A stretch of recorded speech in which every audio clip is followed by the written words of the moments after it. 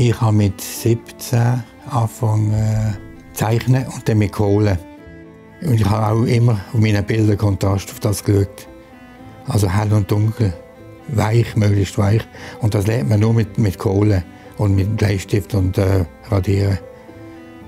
Und ich habe Autodidakt, also ich habe keinen Unterricht genommen. Denn ich wollte von mir aus etwas machen und nicht, was der Lehrer erzählt. Ungefähr zwei, zwei Jahre später dachte jetzt mache ich es mal mit Farbe. Und äh, also Wasserfarbe habe ich nicht gern. Ich habe von Anfang an mit Öl gemalt. Die Idee und Inspiration ist äh, Schottland, eindeutig. Sei es wegen der Landschaft. In Schottland ist die Luft viel klarer. Und das hat mich immer sehr interessiert. Da sind die Farben einfach viel klarer als hier. Ist es eher dunstig. Ich bin äh, 15 Jahre lang gejodet mit einer Schottin. Und wir sind regelmäßig immer dort gefahren und wieder zurück. Also mindestens zweimal im Jahr. So ziemlich zwei, drei Wochen jeweils. Was mich am meisten interessiert, ist das Meer und Weite. Und Wolken. Das habe ich sehr gerne. Ich habe so Berge gar nicht gerne zu malen.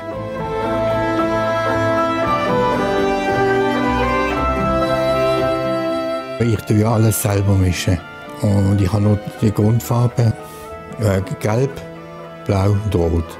Und natürlich weiß, aber wie gesagt, nie schwarz. Und das kann man nicht gut lernen. Das ist eine Erfahrungssache.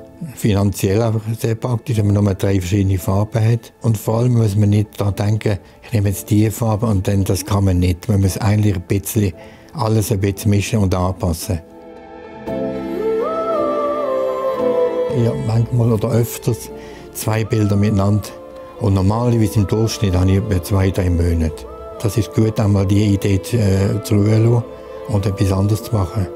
Das ist auch wieder einer von meinen Kontrasten. Und ich habe es fertig gebracht, dass ich bis jetzt äh, die ganze Zeit vielleicht zwei Bilder verpfuscht habe. Und das führe ich darauf zurück, dass, äh, dass äh, technisch schwarz-weiß wichtig war. Ich habe ja viele große Bilder, die meisten sind groß. Ich habe mich nicht abgegeben mit kleinen Bildern. Ich habe mindestens 1,50 Meter oder 1,80 Meter und so. Die Leute eigentlich eher äh, Möbel verschieben, als mehr kein Bild kaufen, das groß ist. Und das ist eine Erfahrung, dass wenn jemand das gerne hat, dann macht er Platz dafür. Und das ist das, was einen Raum größer macht. Nicht das Format, aber die Weite, die man drin sieht. Ja, eigentlich wollte ich meine Bilder immer verschenken. Und dann habe ich, äh, haben mir gesagt, nein, das geht nicht, das geht, man muss so mal verdienen. Ich hatte eine Galeristin, die mich beraten hat. Also die Tendenz ist immer, etwas günstiger zu machen. Denn ich wollte das normale verdienen, also einfache Leute und so auch das kann leisten. Ich habe Fliegerei immer gerne gehabt.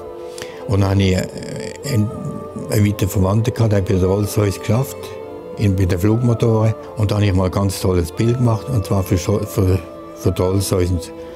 Und äh, das war eigentlich ein großer Erfolg. Gewesen. Also ich würde sagen, man sollte einfach die Augen aufmachen. Und zwar draußen und überall. Und Detail auch ein bisschen merken. Und die Leute laufen und schauen meistens am Boden und nicht geradeaus oder nicht rauf. Und was wichtig ist, ist, dass einem viel entgeht durch das. Und äh, nicht zu fest ablenken lassen. Ja, ich will noch viel machen, weil die Ideen habe ich genug. Und Farben auch.